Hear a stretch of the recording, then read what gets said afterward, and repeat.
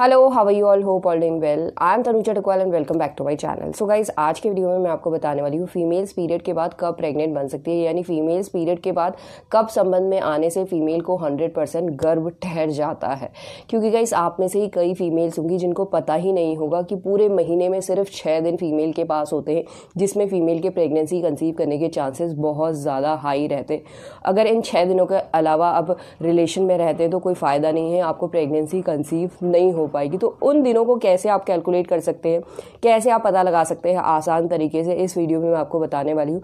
तो उसे जानने के लिए गाइज़ मेरे साथ वीडियो में बने रहिए और वीडियो आपको पसंद आ रहा है तो प्लीज़ वीडियो को लाइक कीजिए चैनल को सब्सक्राइब कीजिए एंड बगल में ही बेल आइकन है, उसे भी प्रेस कर दे ताकि ऐसे ही मेरे वीडियोज़ के अपडेट आप लोगों तक सबसे पहले पहुँच सो गाइज़ सबसे पहले आप लोग के लिए ये समझना ज़रूरी है कि मैंने आपको पूरे महीने में सिर्फ़ छः दिन ही क्यों बोला है कि छः दिनों में फीमेल को प्रेगनेंसी कंसीव हो सकती है छः दिनों में फीमेल के प्रेगनेंसी कंसीव करने के चांसेस हाई रहते हैं। अगर इन छः दिनों के अलावा फीमेल संबंध में रहती है तो फीमेल को प्रेगनेंसी कंसीव नहीं हो सकती। उसके पीछे का क्या लॉजिक है? क्यों ऐसा होता है? ये जानना आपके लिए बेहद ज़रूरी है, क्योंकि गाइस अगर ये आप समझेंगे, तभी जाके आप इन दिनों को आसानी से कैलकुलेट कर सकेंगे, इन दिनों का पता लगा सकेंगे। तो गाइस देखिए, होता क्या है?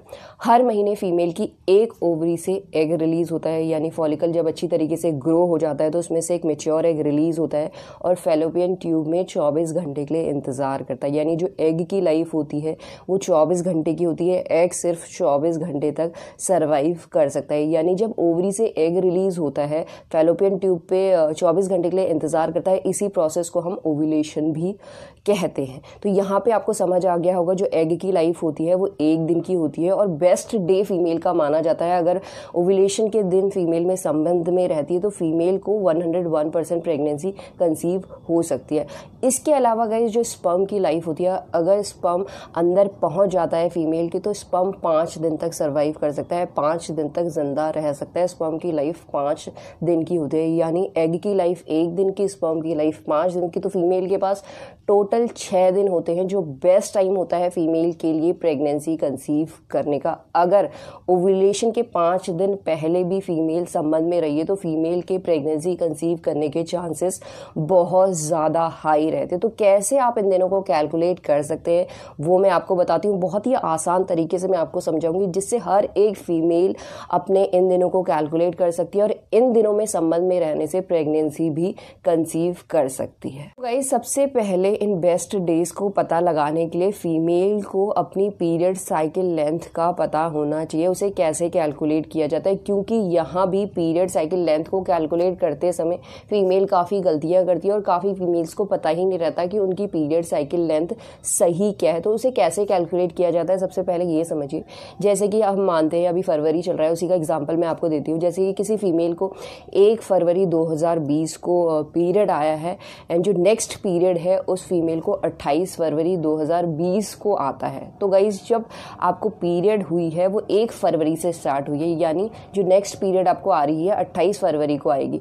तो जो आपकी पीरियड साइकिल लेंथ है, वो 28 दिन की है। यानी जब से आपका पीरियड स्टार्ट होता है, उस दिन से आपकी पीरियड साइकिल लेंथ काउंट होती है। अगर आपका नेक्स्ट पीरियड 28 फरवरी को आता है तो आपकी जो पीरियड साइकिल लेंथ है, वो 28 दिन की है। अगर 2 मार्च को आता है तो वो 30 दिन की हो जाती है। अगर 4 को आता है तो वो 32 दिन की हो जाता है। यानी आपको पीरियड साइकिल लेंथ कैलकुलेट करते वक्त ये समझना है कि जब से आपकी पीरियड स्टार्ट होती है उस दिन से पहला दिन शुरू होता है और जो नेक्स्ट पीरियड आती है, उस दिन तक आपको काउंट करना है कितने दिन होते हैं।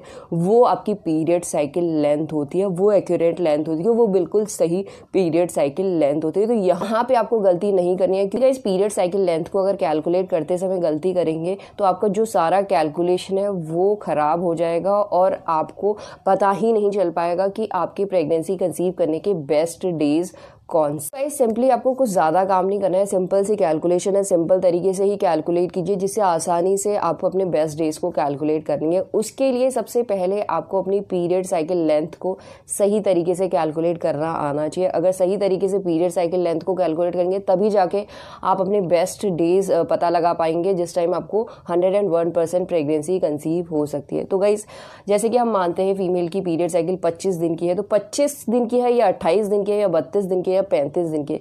कोई भी पीरियड साइकिल लेंथ आपकी है, आपको उसमें से फोर्टीन को माइनस करना है। सिर्फ़ फोर्टीन को ही को ही माइनस करना है।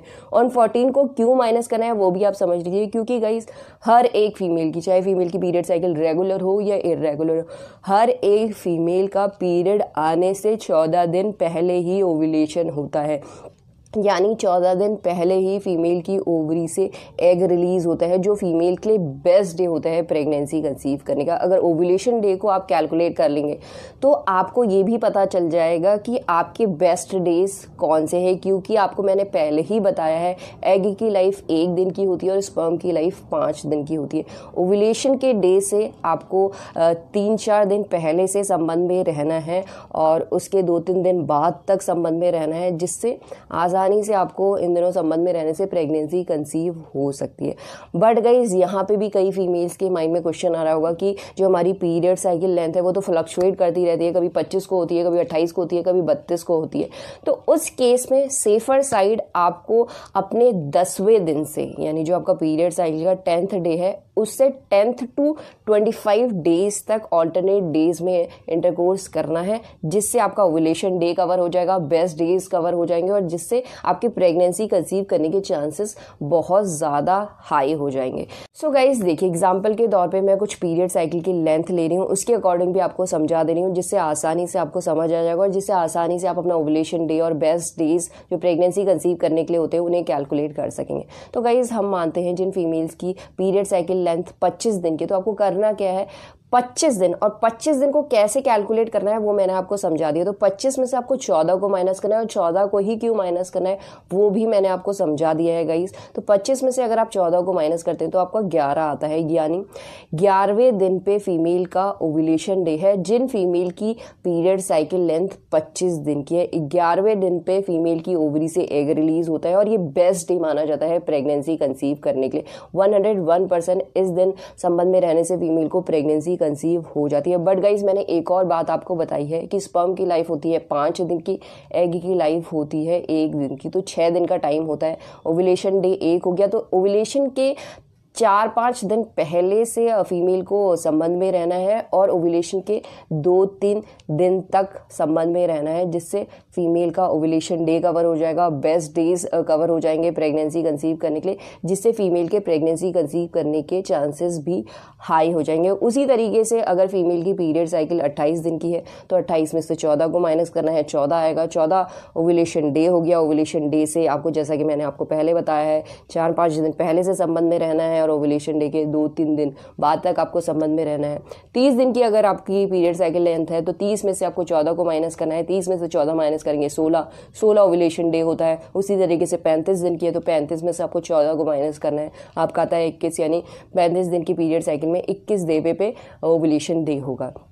तो गाइज़ इसी तरीके से आप कैलकुलेट करते हैं तो आसानी से आप अपना ओवुलेशन डे और बेस्ट डेज़ पता लगा लेंगे, जिस दिनों फीमेल को आसानी से प्रेगनेंसी कंसीव हो सकती है। होप करती हूँ इस वीडियो से आपको कैलकुलेशन समझ आ गई होगी, और आप आसानी से कैलकुलेट कर सकेंगे कि पीरियड के बाद कब आपको प्रेगनेंसी कंसीव हो सकती है, कब फीमेल के प्रेगनेंसी कंसीव करने के चांसेस हाई रहते हैं। तो गाइज़ यही आज का वीडियो होप करती हूँ ये वीडियो आपको अच्छा लगा होगा and thanks for watching this video guys will see you soon मैं next video till then bye